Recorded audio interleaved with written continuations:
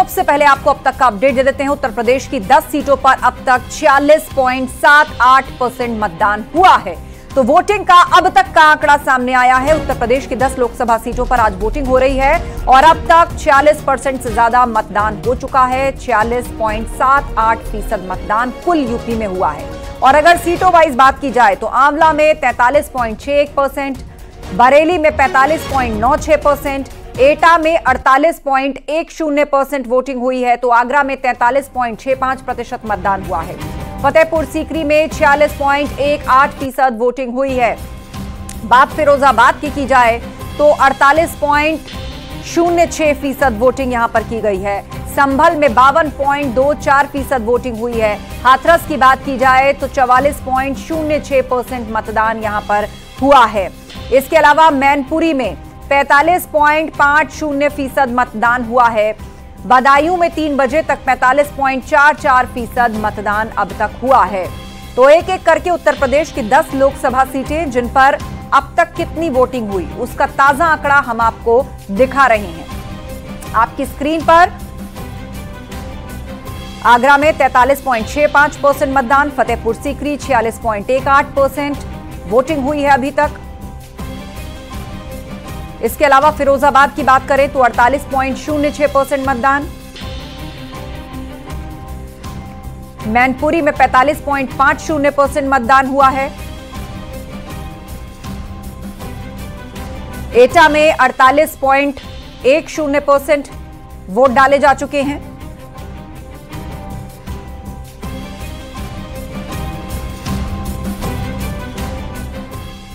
आंवला सीट पर यूपी सरकार के मंत्री धर्मपाल सिंह ने अपने परिवार के साथ अपने गाँव में वोट डाला है। कैबिनेट मंत्री धर्मपाल सिंह ने अपने गाँव गुलाड़िया में पोलिंग बूथ पहुंचकर मतदान किया। आपको बता दें, आंवला सीट पर धर्मेंद्र कश्यप को बीजेपी प्रत्याशी बनाया गया है।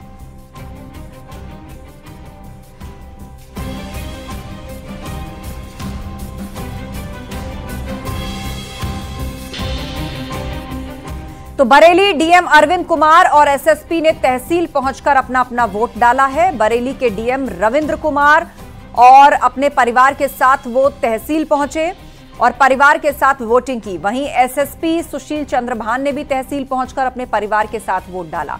तो ना सिर्फ़ राजनेता, बल्कि प्रशासनिक अधिकारी भी अपने परिवारों के साथ पहुंचकर वोटिंग कर रहे हैं। डीएम और एसएसपी ने वोट डाला बरेली में। उसकी तस्वीर हम आपको दिखा रहे हैं। पोलिंग बूथ पर पहुँच के अपने परिवार समेत वोट डाला डीएम और एसएसपी ने। दरअसल वोटिंग परसेंटेज बढ़ाई जाए, इसके लिए अलग अलग तरह की तस्वीरें और एक पॉजिटिव माहौल बनाया जा रहा है ताकि लोग अपने घरों से निकले और मतदान करें। ठीक है, सर उधर कासगंज ज़िले के विधानसभा कासगंज के गाँव रामपुर में गाँव वालों ने मतदान का बहिष्कार कर दिया। गाँव में विकास कार्य न होने से गाँव वाले बेहद नाराज़ हैं। उन्होंने आरोप लगाया कि गाँव की सड़क और गलियों में गंदा पानी भरा है। रानी अंबाती बाई इंटर कॉलेज, रामपुर के मतदान केंद्र एक पर सन्नाटा पसरा रहा। प्रशासन समझाने की कोशिश करता रहा, लेकिन लोग बिल्कुल नहीं माने और वो अपनी जिद पर अड़े रहे कि वो मतदान नहीं करेंगे। उनका आरोप है कि एक सड़क वहाँ पर नहीं बनाई गई है। और यहाँ विकास कार्य नहीं किया गया है। जनता ने इसीलिए मतदान का बहिष्कार करने का फैसला किया है। अरे हमारे गाँव का कोई विकास नहीं है। गाली गलियाँ नाली सब गंदी पड़ी है। और ब्याह बारात होते हैं बारात भी नहीं चढ़ पाती है रिश्तेदार भी नहीं आते। गाँव में गाँव में सड़क नहीं है क्या? सड़क है वो खंडर पड़ी हुई है। पानी पानी भरा हुआ है। पानी का निकास नहीं है। कोई अधिकारी आपसे मिलने आया? कोई नहीं आया। साढ़े दस नए अधिकारी आए ना विधायक आया ना कोई प्रमुख आया यहाँ। और इस पर चर्चा और ताज़ा अपडेट के लिए हमारे तमाम सहयोगी हमारे साथ जुड़ रहे हैं। मैनपुरी से ऋषभ मणि त्रिपाठी हैं, संबल से उमेश श्रीवास्तव। फतेहपुर सीकरी से कामर कुरैशी और हाथरस से सुमित कुमार हैं। सबसे पहले हम ऋषभ मणि का रुख करते हैं, जो मैनपुरी से हमारे साथ हैं। सबसे हॉट सीट मानी जा रही है मैनपुरी, सबसे high profile seat Dimple Yadav खुद यहाँ से चुनावी मैदान में है। और अभी तक के पोलिंग परसेंट की बात करें ऋषभ मणि तो यहाँ से क्या डेटा सामने आया है? क्या वोटर्स में उत्साह दिख रहा है? देखिए, अभी तक जो तीन बजे तक का वोटिंग परसेंटेज मैनपुरी का है, वो करीब छियालीस फ़ीसदी है। और जैसा आप सही कह रहे थे आस्था जो ये सबसे हाई प्रोफ़ाइल सीट है मैनपुरी, और मैं इस वक्त मैनपुरी के सबसे हाई प्रोफ़ाइल बूथ पर हूँ, सैफई। पूरा यादव कुनबा यहीं पर वोट डालता है, जिसकी सुबह शुरुआत भी हुई थी। अक्षय यादव अपनी पत्नी के साथ आए थे, फिर उसके बाद राम गोपाल आते हैं, फिर धर्मेंद्र यादव, फिर अखिलेश यादव अपनी पत्नी डिम्पल जो यहाँ से प्रत्याशी है, उनके साथ भी आते हैं। टेक्निकली ये जिला इटावा पड़ता है, लेकिन लोकसभा सीट मैनपुरी है। तो एक जसवंत नगर विधानसभा, जो मैनपुरी लोकसभा में आती है, वो इटावा ज़िले में आती लिहाजा यहाँ पर इटावा की पुलिस तैनात है, और अभी भी शिवपाल यादव का इंतज़ार है। एक हाई प्रोफ़ाइल वोटर हैं जो, शिवपाल यादव, यहाँ के विधायक भी हैं जसवंत नगर विधानसभा से। बताया जा रहा है, कुछ ही देर में शिवपाल यादव यहाँ पर अपना वोट कास्ट करने आ सकते हैं। लिहाजा यहाँ पर पुलिस प्रशासन मुस्तैद है। कहीं ना कहीं एक दो बार ये शिकायत भी हुई, खुद धर्मेंद्र यादव ने भी कहा कि पुलिस यहाँ पर उनके वोटर्स को परेशान कर रही है बदसलूकी कर रही है। बेवजह उनकी आईडी मांगी जा रही है और जबकि आईडी मांगने का हक यहाँ पर पुलिस को नहीं है ये भी उनकी ओर से कहा गया। ये भी कहा गया कि हम चुनाव आयोग में इसकी शिकायत भी करेंगे। लेकिन जैसा मैं सुबह से देख पा रहा हूँ सात सात बजे के बाद से ही यहाँ पर लगातार जो पोलिंग है वो बनी हुई है। खासतौर से सैफई जो पूरा इलाका है यहाँ पर धर्मेंद्र यादव कैंप किए हुए हैं। धर्मेंद्र यादव यहाँ पर खुद घर घर जा रहे हैं और पूरी कोशिश कर रहे हैं। एक भी वोटर घर में ना छूट पाए, सबका वोट कास्ट होना चाहिए। और उन्होंने खुद मुझसे बात ये कहा है कि 90 फ़ीसदी वोटिंग का रिकॉर्ड हम कम से कम इस बूथ पे बनाना चाहते हैं। तो यहाँ पर समाजवादी पार्टी का वो दबदबा देखने को मिल रहा है। सैफई की पहचान इसी यादव कुंबे से है और वो यहाँ पर नज़र भी आ रही है। उपचुनाव में डिम्पल यादव यहाँ पर जीत गई थी, लेकिन इस बार उनका मुकाबला सीधे कैबिनेट मंत्री जयवीर सिंह से है। लिहाजा मैनपुरी की लड़ाई काफ़ी दिलचस्प हो चुकी है। आस्था। बिल्कुल यहाँ की लड़ाई बड़ी दिलचस्प हो गई है। रुख संभल का कर लेते हैं। उमेश श्रीवास्तव हमारे साथ जुड़े हुए हैं। संभल से क्या रिपोर्ट है उमेश? यहाँ पर कितना फ़ीसद मतदान हुआ है? और शफीकुर रहमान बर्ग के बाद यहाँ से उनके बेटे ही हैं जो कि मैदान में हैं। तो किस तरह के मुद्दों पर यहाँ चुनाव लड़ा गया है? जी देखिए संभल के मतदाताओं में जोश दिख रहा है तीन बजे तक का जो आंकड़ा है, वो तकरीबन बावन दशमलव दो चार फ़ीसदी का मतदान यहाँ पर हो चुका है। और ऐसा माना जा रहा है कि polling percentage near about more than 65 percent के आसपास का संभल का हो सकता है। लोकतंत्र का महापर्व मनाया जा रहा है, लोग अपने घरों से निकल रहे हैं। और अगर पहले फ़ेज़ और दूसरे फ़ेज़ के तुलनात्मक अध्ययन किया जाए तो इस फ़ेज़ में पोलिंग परसेंटेज में इजाफा हुआ है, ऐसा लगता है। अगर पहले फ़ेज़ की बात की जाए या सेकंड फ़ेज़ की बात की जाए तो तीन बजे तक के जो आंकड़े आते थे, वो इतने नहीं होते थे। चाहे हम संभल की बात कर लें, चाहे हाथरस की बात कर लें, चाहे फिरोजाबाद की बात कर लें, आगरा की बात कर लें, फतेहपुर सीकरी की बात कर लें, मैनपुरी, एटा, बदायूं की बात कर लें, या आंवला और बरेली की बात कर लें। इन सभी सीटों पर जहाँ जहाँ भी आज मतदान हो रहा है पोलिंग परसेंटेज कुछ बढ़ा है, ऐसा लगता है। क्योंकि संभल में 52.24 परसेंट के आसपास की पोलिंग हुई है और उत्तर प्रदेश की जितनी भी 10 लोकसभा सीटों पर आज इलेक्शन हो रहा है, उनमें से सबसे ज़्यादा पोलिंग अब तक संभल में ही हुई है। लोग घरों से निकल रहे हैं और अपने मताधिकार का प्रयोग कर रहे हैं। संभल में जो मुद्दे, अहम मुद्दे सामने आए हैं, जिनके आधार पर मतदाता अपने मताधिकार का प्रयोग कर रहे हैं, उनमें सबसे बड़ा मुद्दा कानून व्यवस्था को लेकर है। कानून व्यवस्था एक बड़ा मुद्दा है और इसके अलावा तमाम अन्य मुद्दे हैं। डेवलपमेंट को लेकर लोग वोट दे रहे हैं, लॉ एंड ऑर्डर को लेकर लोग वोट दे रहे हैं। हमारे साथ कुछ मतदाता भी जुड़ गए हैं उनसे बात कर लेते हैं और जानते हैं जो अभी भी अपने वोट के सबसे बड़े अधिकार का प्रयोग करके लौटे हैं। आप देखिए घूंघट में नज़र आ रही हैं महिलाएँ लेकिन वोट देने के लिए आ रही हैं। मैडम आप घूंघट में आई हैं गाँव में रहती हैं लेकिन मतदान करना है ये सबसे बड़ी ज़िम्मेदारी है सबसे बड़ी ताकत का एहसास कराना है। क्या सोच करके किन मुद्दों के आधार पर आपने अपने सबसे बड़े अधिकार का प्रयोग किया? क्या जहन में था? क्या आपके दिलो दिमाग में चल रहा था जब आप मतदान करने के लिए जा रहे थे? क्या सोच करके वोट डाला है? हाँ वोट डाला है। कैसी सरकार होनी चाहिए?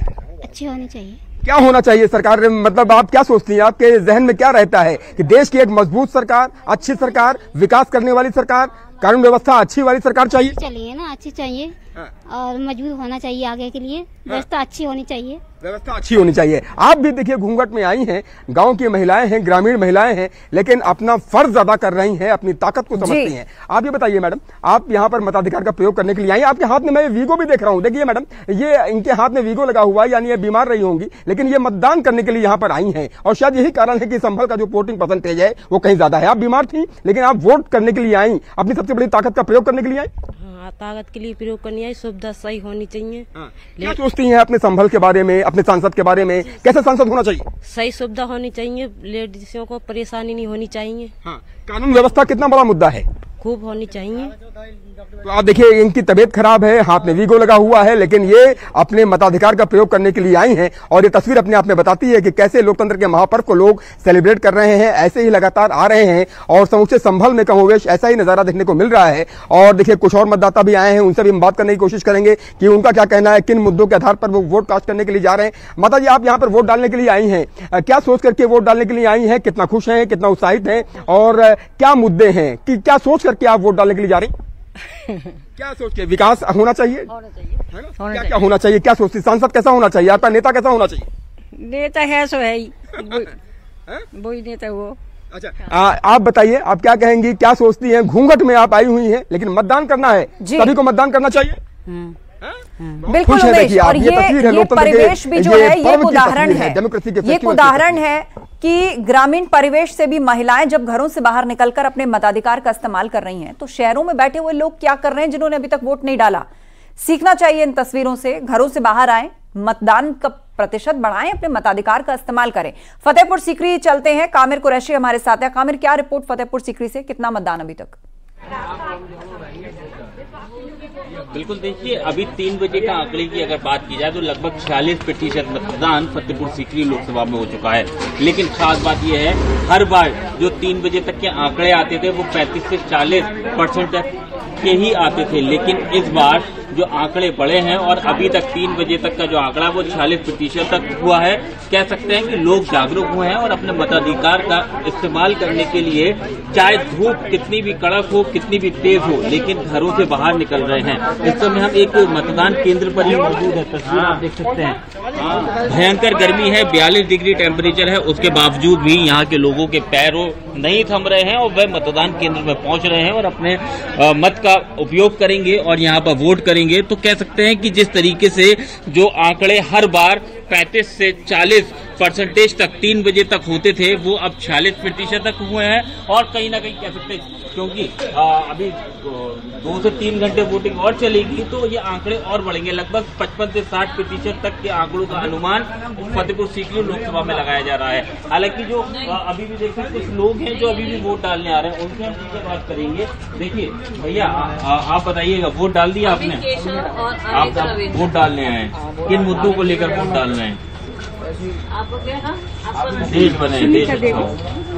देखिए और महिलाएँ भी हैं उनसे भी हम बात करेंगे। मैम आप बताइएगा ये तो बड़ी महिलाएँ डाल रही हैं और महिला सुरक्षा कैसी है? बहुत इनसिक्योरिटी फील होती है। कहीं भी जाते हैं तो। चाहते हैं कि महिला भी सिक्योर है और जो बेरोजगारी है इस वक्त बहुत हाई लेवल पे वो भी खत्म होनी चाहिए। यूथ के काम है कि एजुकेशन पे भी बहुत ध्यान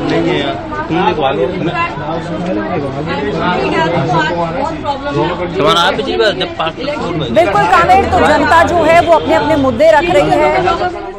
कुछ लोग अपनी परेशानी भी बता रहे हैं अपनी उम्मीदें भी ज़ाहिर कर रहे हैं लेकिन आज फैसले का दिन है आज वोटिंग का दिन है। हाथरस का रुख करेंगे सुमित कुमार हमारे साथ हैं। सुमित वहाँ किस मुद्दे पर लोग वोट कर रहे हैं और अभी तक कितने फ़ीसद मतदान? देखिए आस्था सबसे पहले मैं आपको बता दूँ, मैं हाथरस में इस बूथ पर मौजूद हूँ। हाथरस में लाल डिग्गी बूथ है, शहर का बूथ माना जाता है। हाथरस की बात करेंगे तो चौवालीस पॉइंट छह परसेंट अभी तक यहाँ पर मतदान हुआ है।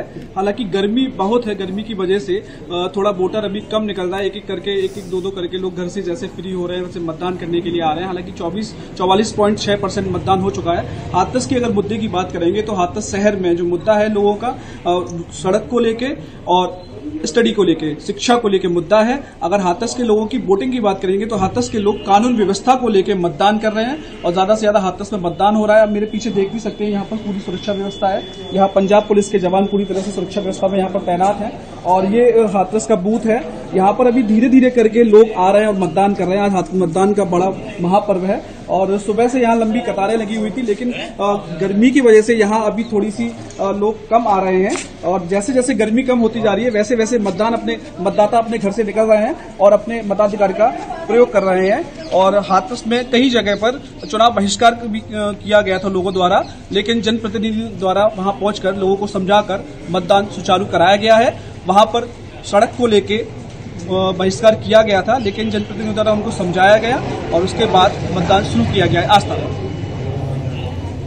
बिल्कुल तो यहाँ पर मतदान जो है, वो अभी चल रहा है, लोगों में उत्साह नज़र आ रहा है।